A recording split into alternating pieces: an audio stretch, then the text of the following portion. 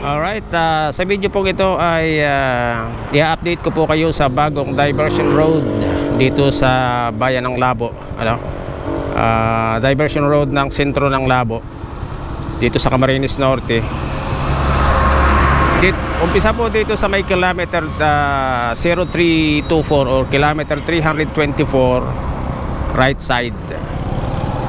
Ano, ah, ito po yung ah, national highway ng ah, Maharlika Highway.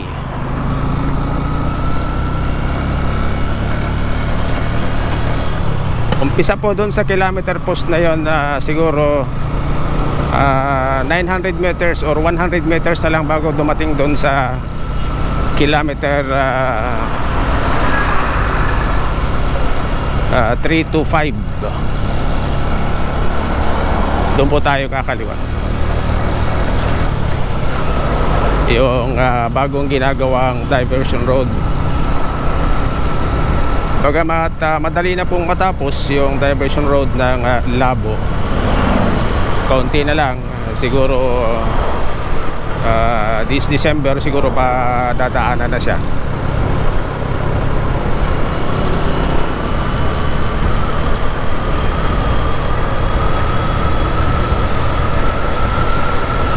ito po ay uh, 4 lanes na bahagyang pababa.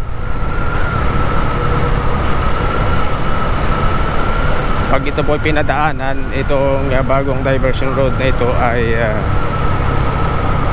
medyo alanganin kung medyo mabilis kayo pababa tapos liliko kayo bigla dito.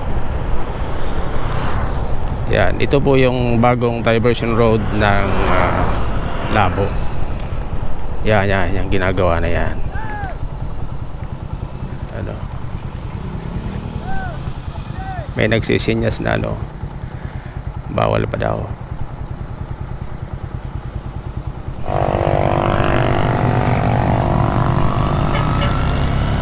Iyan o bagong kalsada. Hindi pa siya tapos.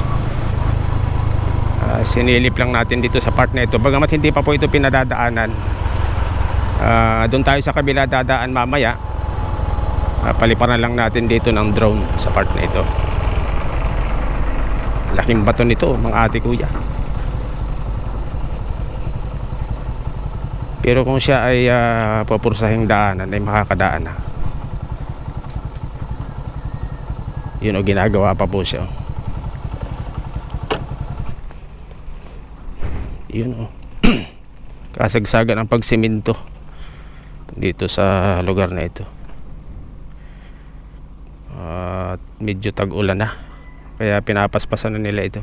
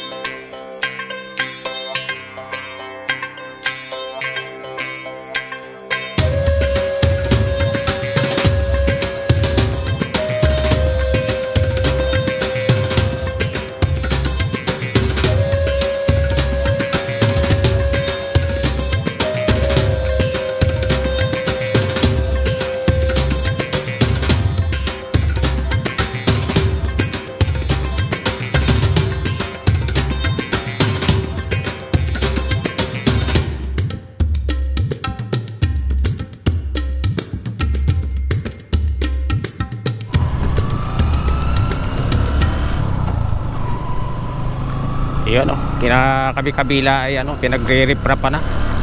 Pinamadali na rin itong project na ito mga ate kuya.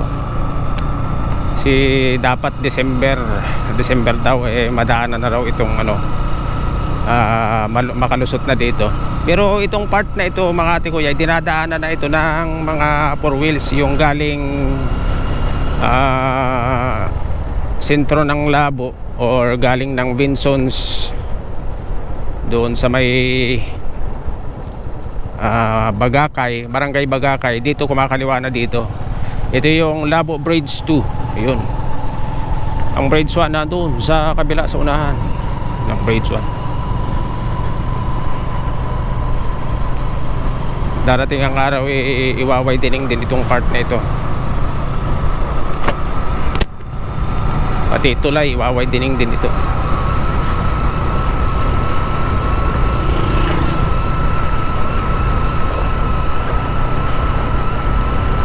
ang hindi na lang madaanan mga ate ko eh, yung sa may bungad ng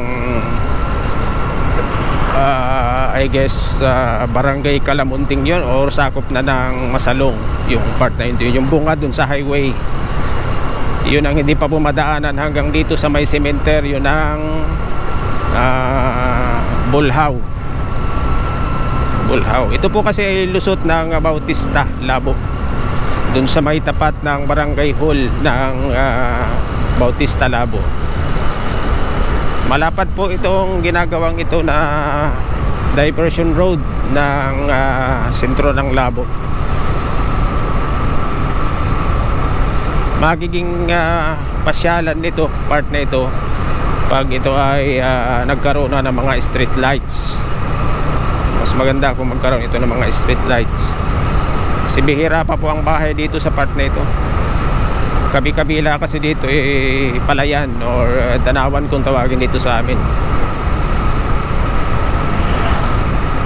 Yun o mga bagong sinimento na part. Nilalagyan nila ng mga bato-bato sa ibabaw para ah, hindi agad daanan. Medyo medyo maraming buhangin kaya di tayo makapabilis dito sa park na ito. Ah parang tatayuan nga ng street lights mga ate kuya kasi nilalagyan ng puste may mga puste sa gilid. Street lights nga ito. Ayun oh parang ganyan oh. Ganyan yung mga nakatayo niyan sa bandang kaliwa solar lights. Mas maganda nga yung solar lights na yan mga ate kuya kasi eh, hindi na nga nangangailangan ng ah, babayaran buwan-buwan yung kung anong LGU ang nakakasakop niyan. At saka kahit brownout o may kalamidad, may bagyo um, brownout na yung lugar yung street lights maliwanag pa. Ano, maliwanag lang yung kalsada pero yung kabahayan wala ito yung intersection ng ah, going to downtown Vinsons ano. No, itong bandang kaliwa na ito dito. Pag nagdiretso ka dito ipapunta ng sentro ng Labo. Lalabas dun sa may highway. Ito naman papuntang sentro ng Vinsons then dito tayo siyempre diretso at ito yung diversion road ng ah, Labo. Hindi ko lang ah, hindi ko lang naitanong kung ilang kilometro itong diversion road na ito pero hindi naman po ito kahabaan. Kung galing ka po ng ah, Bautista or galing ka ng Dait ah, pupunta ka ng ah, Barangay Bulhaw, Barangay ah, Bagakay or Kabusay dito na po kayo dadaan. Hindi na kayo dadaan doon sa sentro ng ah, Labo. Kasi itong part nito eh, tapos na bali doon na lang sa may ah, unahan na yon yung pinagpali pa rin natin ng drone kanina. Yun yung mga eh, eh, hindi pa pinadadaanan. Kahit ah, pwede nang lumusot yung mga motor kung pwede na sanang ipilit kaya lang hindi nila pinadadaanan kasi maraming gagaya. Ano magiging abala sa kanila yung ah, may dumadaan. Kaya hindi mo na nila pinadaanan doon maganda dito at marami ng street light oh. May street light ah. street lights. Bihira lang ang ah, bahay sa may tabi ng highway. Ginawa ng parkingan dito. Ito po ay sakop na ng barangay uh, ah, Bautista Labo. Dito na po nagtatapos yung ano ah, diversion road. Bali ito po yung highway na highway na ito ng ah, National Highway. Yan po yung Maharlika Highway ano? Yan yung barangay hall ng Bautista Labo. Ayun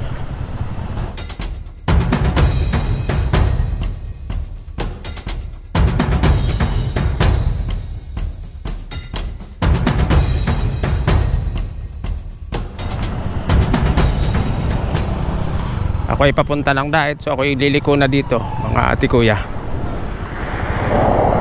So yun lang. Ah, Please subscribe my YouTube channel mga ate kuya. Support my ah, YouTube channel. Maraming salamat. Thanks for watching